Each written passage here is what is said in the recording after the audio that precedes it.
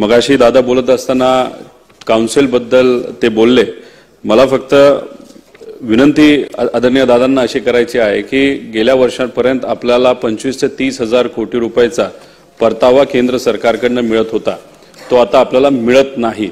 आणि आम्ही असंही चर्चा ऐकलेली आहे की पेट्रोल आणि डिझेल हे सुद्धा जीएसटीमध्ये आणण्याचा विचार केंद्र सरकार करत आहे.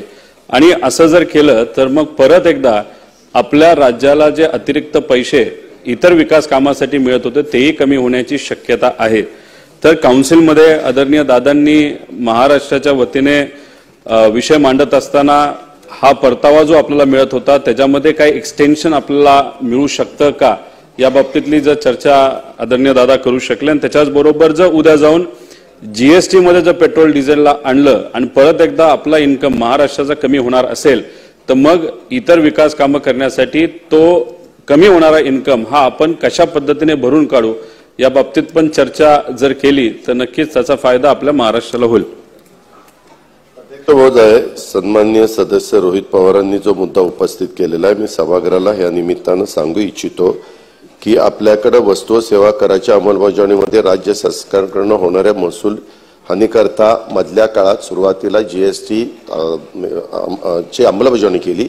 तेव्हा शासनाकडनं मिळणारी वस्तू सेवा कराची भरपाई पाच वर्षाच्या करता देण्याचा निर्णय झाला.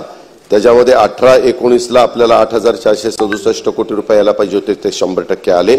एकोणीस वीसला अठरा हजार आठशे सेहेचाळीस कोटी रुपये मिळायला पाहिजे होते ते शंभर टक्के आले.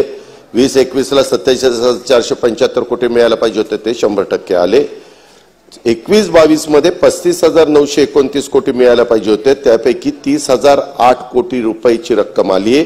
आणि बावीस तेवीसमध्ये सात हजार दोनशे त्र्याण्णव कोटी मिळायला पाहिजे होते. त्याच्यातले दोन हजार एकशे दोन कोटी रुपये आलेत. असं एकवीस बावीसचे पाच हजार नऊशे बावीस आणि पाच हजार एकशे एक्क्याण्णव बावीस तेवीसचे असे अकरा हजार एकशे तेरा कोटी रुपये येणं बाकी आहे. त्याचा पाठपुरावा अध्यक्ष महोदय आमचा त्या ठिकाणी चाललेला आहे. हा मुद्दा राहिला मुद्दा झाला. तिकडनं जे पैसे पाच वर्षाच्या करता येणार होते तशा पद्धतीनं आणि पैसे आपल्याला मिळतील आमचा आम्ही पण त्याच्यात लक्ष ठेवून आहोत. अध्यक्ष महोदय दुसरा विषय त्यांनी पेट्रोल आणि डिझेलच्या बद्दलचा जो उपस्थित केला हा आजच नाही मागे देखील मी अर्थमंत्री असताना पण हे चर्चा होत होती. देशातल्या वेगवेगळ्या राज्यांनी ह्या गोष्टीला विरोध केलेला आहे. आणि त्याचा फटका आपल्याला पण आर्थिक बाबतीत बसणार आहे.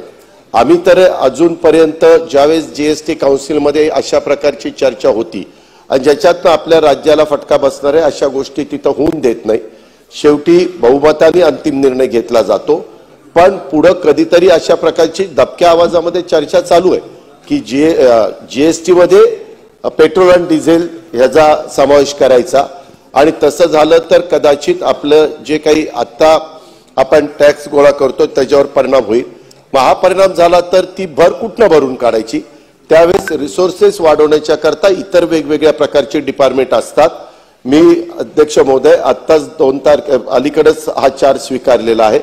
अधिवेशन संपल्यानंतर रिसोर्सेस वाढवण्याच्या करता मी जे जे आपले महत्त्वाचे डिपार्टमेंट आहेत त्या लोकांना आणि फायनान्सच्या लोकांना घेऊन त्या ठिकाणी बसणार आहे. वेळ पडली तर आम्हाला काही कठोर निर्णय घ्यावे लागतील. त्यावेळेस मला कॅबिनेटला पण सगळ्यांना विश्वासात घेऊन मुख्यमंत्री उपमुख्यमंत्र्यांच्याही पण ती गोष्ट लक्षात आणून द्यावी लागेल आणि मंत्र्यांच्याही लक्षात आणून द्यावी लागेल. मला विश्वास आहे राज्याच्या हिताच्या दृष्टिकोनातनं जर काही असे निर्णय घ्यावे लागले तर विकासाला निधी कमी पडू नये. त्याकरता असे निर्णय घ्यायला कॅबिनेट पण त्यांना नीटपणे पटवून दिल्यानंतर मान्यता देईल आणि त्याबद्दलचा विचार निश्चितपणे अर्थमंत्री म्हणून मी करतोय.